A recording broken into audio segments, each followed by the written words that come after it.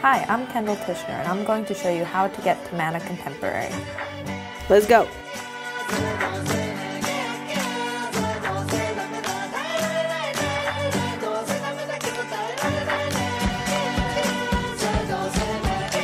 Take your local subway to any of these convenient PATH trains located on 6th Avenue at 33rd Street, 23rd Street, 14th Street, 9th Street, Christopher Street, and at the World Trade Center.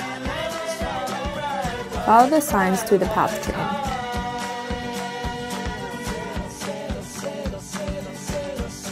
Take the PATH train to Journal Square.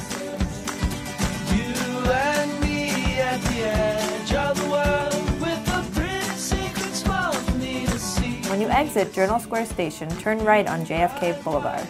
Then make a left on Newark Avenue.